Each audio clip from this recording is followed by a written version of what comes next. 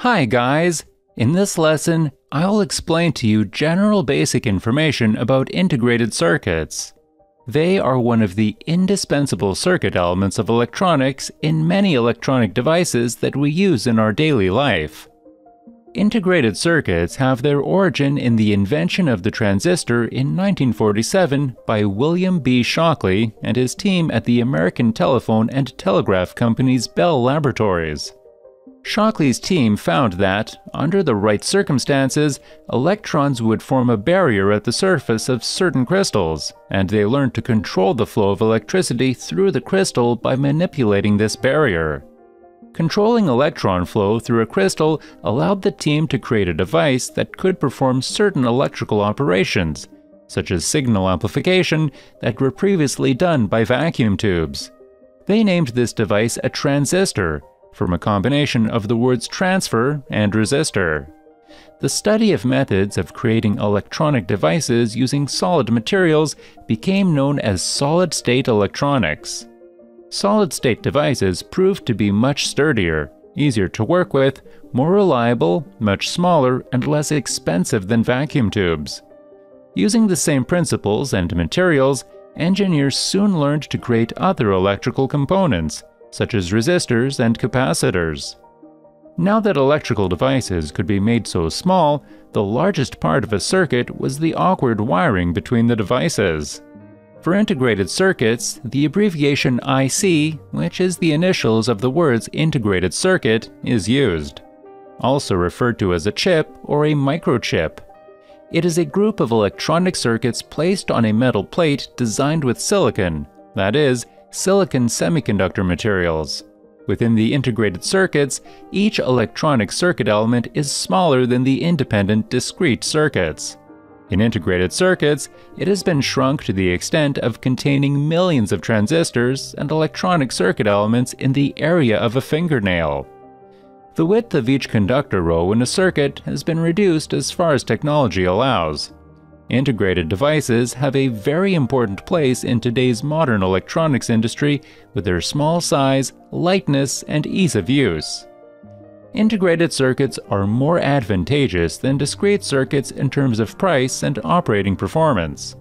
Ready to assemble integrated circuits require less material than discrete circuits. Their performance is high, because it has a small size and its elements are close to each other, the circuit components transfer the current quickly inside the IC. Thus, less power is consumed. Integrated circuits are found in almost all electronic devices today and have revolutionized the world of electronics. Computers, phones, cameras, and many other electronic devices created with integrated circuits at cheap prices are indispensable parts of our lives that we use today. Integrated circuits can be produced in THT type or through-hole technology to be soldered to punched cards or in SMD or surface mount device cases to be soldered on circuit board. THT ICs can be easily used by mounting on a breadboard or soldering to a perforated plate and printed circuit board. SMD ICs, on the other hand, are much smaller because they are designed for use on circuit boards produced by machines. For example, on the left there is the THT type of the PIC16F877A model microchip controller belonging to Microchip Company, while on the right there is the SMD model IC of the same model belonging to the same company.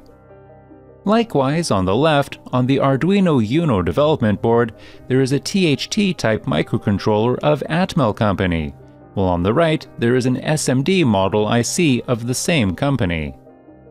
Now let's look at how the pins of the integrated circuits are numbered.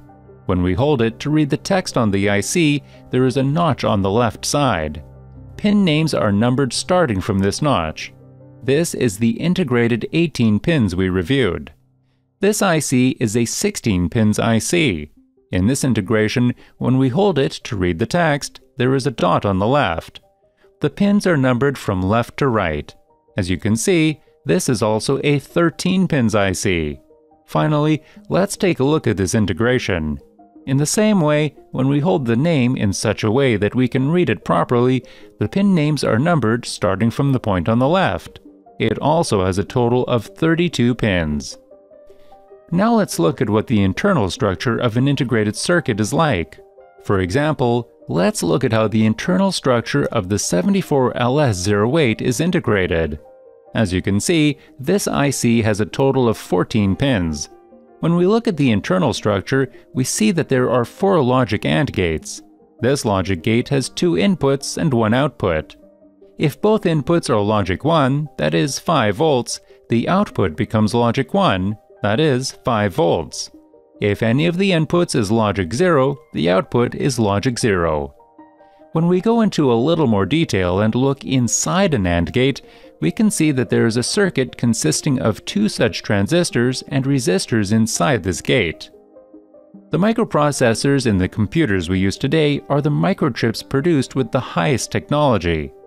These processors, which are produced with today's technology, contain millions of transistors, each of which is approximately 14 nanometers in size. Instead of the modular structure of our computers, the microcontrollers we use in the development boards that are widely used today, all the necessary units such as the central processing unit or CPU, memory or RAM, and hard disk are gathered in a single integration. Microcontroller ICs are programmable. In this way, only one job will be done. These ICs are used in relatively simpler applications. The written program is saved in the microcontroller program memory and runs continuously when the IC is energized. Companies such as Atmel, PIC, Texas Instruments produce very different kinds of microcontroller ICs. With the development of technology, an entire computer could be reduced to a single integrated size instead of simple microcontrollers. Thus, complex structures such as CPU, RAM, and GPU, which can offer higher processing power just like our personal computers, are gathered in a single integrated circuit.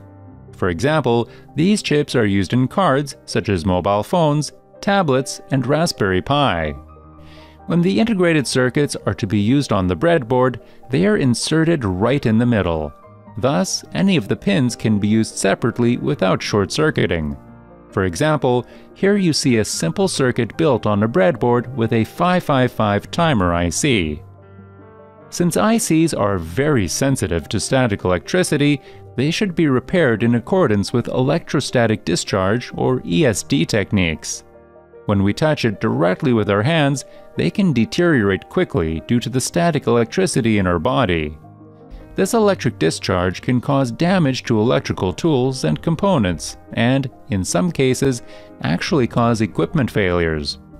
The most frequently occurring damage caused by electrostatic discharge is when a person or tool that is electrically charged touches a grounded device which has a low resistance to static electricity, which in turn causes the sudden flow of electricity between the two objects.